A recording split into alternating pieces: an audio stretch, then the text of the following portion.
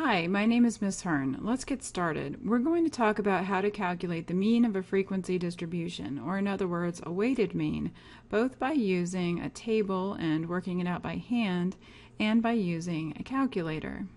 The calculator we're going to use is the Texas Instruments 30X2S. The scenario that we're going to look at is how to calculate the average salary for a particular company. Um, the company has several employees that have different jobs.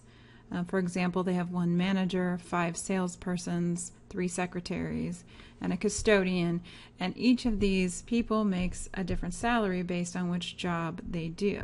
The first step is going to be to identify what are our data values and what are our, our frequencies. So the salary column is the actual data value or X values, and the number column is telling us how frequently these occur, the frequencies. So I'm going to make a table and I'm going to label my columns X and F for data values and frequencies, but I'm also going to have a table, uh, or rather a column for the products. And here's the reason why. It may look like we only have four data values, but that's not actually true. For example, there are actually five salespersons that are each making 17,500. And if you recall, in order to find the mean of a set of data, we need to add up all the data values. So we're not just adding up 17,500 once, but five times. In other words, we're going to multiply 17,000 by 5. So multiplying each of the data values by their frequencies, we have 28,600 times 1, 17,500 times 5, 15,100 times 3, 13,000 times 1. And this is going to give us how much money we're send, spending on each type of employee. And we're going to have to add all of these up. When we're calculating the mean, we're also going to need to know how many data values we have. In other words, add up all the frequencies. The sum of the frequencies is 10, and the sum of all the money that we've spent on salaries is 174,400. So if we divide all that money by 10, the number of salaries, then we're going to get the average salary.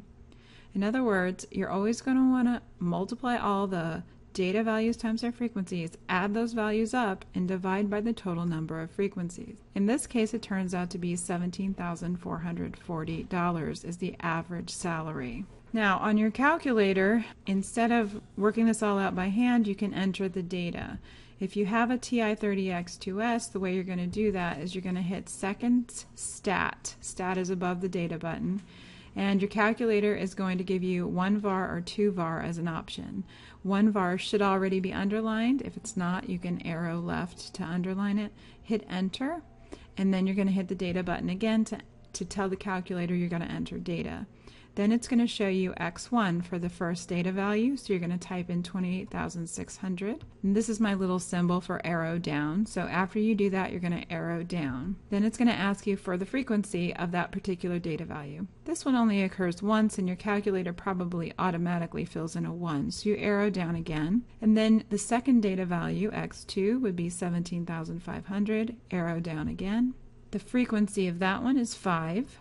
Arrow down again. The third data value was 15,100 with a frequency of 3, and the fourth one is 13,000 with a frequency of 1. Once you've entered those, you don't have to push enter or anything. The second step is to calculate the mean, so you're going to actually hit the stat var button, which is right below the arrows, and you're going to see symbols across the screen and one of them is X bar. It should already be underlined. If it's not, you can arrow to the left to underline it and then you're going to hit enter and the average that we calculated already will show up. So you should see 17,440 on your screen. If you don't, go back and check that you entered the numbers correctly.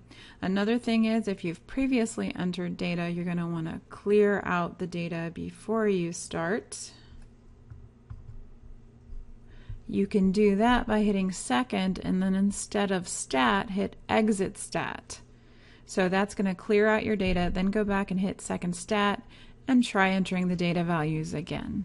I hope you found this video helpful. If you did, please remember to like it and leave any comments or questions down below.